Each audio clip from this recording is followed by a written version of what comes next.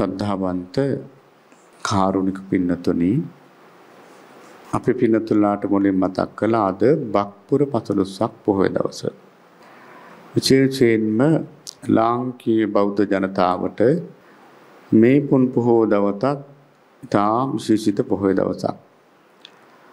අපේ ලෞතුරා සම්මා සම්බුදුරජාණන් වහන්සේ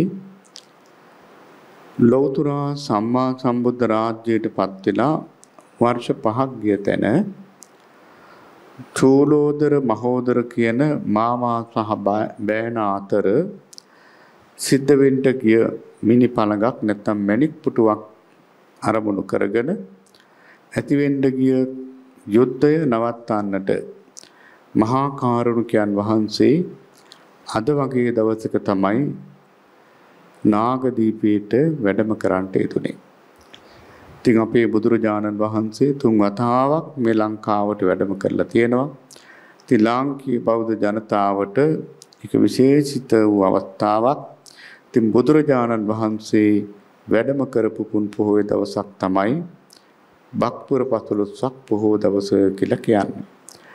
ඉතින් භාග්‍යතුන් වහන්සේ මේ ගමනේදී ඒ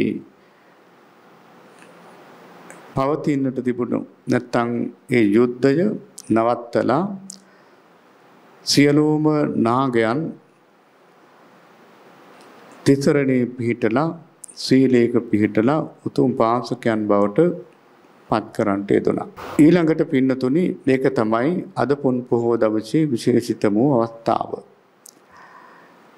ඊළඟට භාග්‍යවත් පුදුරජාණන් වහන්සේ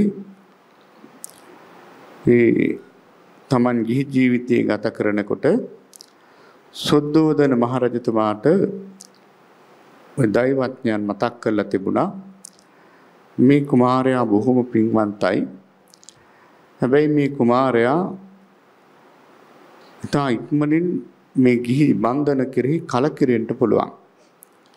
ඒ නිසා මේ ගිහි බන්ධනයන් කෙරෙහි ඒ කලකිරීම ඇති කරන ධර්ම ඈත් කරන්නට කියලා කිව්වා. ඒ අනුව සුද්ධෝදන මහරජුරු ඔය ලෙඩ්ඩු මහල්ලු ඒ වගේම නොයෙක් මෘත ශරීර මැරෙන අවස්ථාවන් ඒවා සම්පූර්ණ මේ කුමාරයාගෙන් ඈත් කරලා තිබුණේ. කපිලවස්තුපුර නුවර එහෙම මහල්ලෙක් දකින්නවන් තත්වයට හදලා තිබුණා. ඒ මොකද ඒ කුමාරයා උයන් කෙලියට යන දවසේ සම්පූර්ණ රජුරු ඒකට වග බලා ගත්තා. නමුත් මහබෝසතාණන් වහන්සේ දවසක් උයන් කෙලියට පුන් පොහොව දවසේ යනකොට ඉස්සෙල්ලාම ලෙඩෙක් සතර පෙර නිමිති වල පළවෙනි පෙර නිමිති තමයි ලෙඩෙක්.